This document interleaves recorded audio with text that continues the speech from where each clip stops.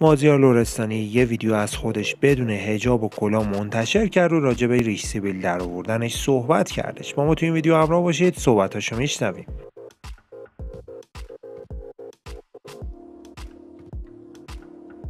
سلام به همراهان همیشه کانال زر تیوی به کانال خودتون خوش اومدید. مازیار یا همون شهره لورستانی که چند وقتی هستش به واسطه خبر تغییر جنسیتش سرتیتر خبرها شده. چند روز پیش یه عکس از خودش بدون هجاب و کلاه منتشر کرد. اولین تصویر بدون کلاه از مازیار لورستانی بودش.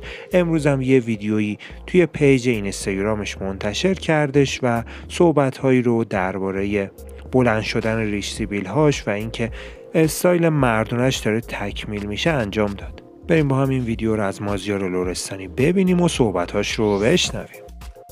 ما هی میگیم آقا می‌خوایم ورزش کنیم می‌خوایم کار کنیم هی میگیم از شنبه شنبه نمیشه. گفتم امروز دیگه با مردم رسما اعلام کنیم بشه چالش. آقا ما می‌خوایم لاغر شیم می‌خوایم خودمون رو لاغر کنیم. بعدم اینکه نگفتی چند تاشو 36 تا بود. شده 42 تا. من هر روز صبح با تیغ تون تون می‌زنم که زیاد دارم. من رفتم یه ساعت خریدم.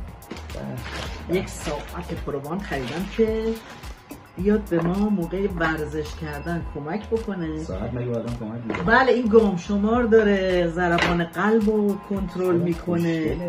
مرزا پاش را بریم؟ آها این از ایناست که اکسیژن خون همه چی همه چی.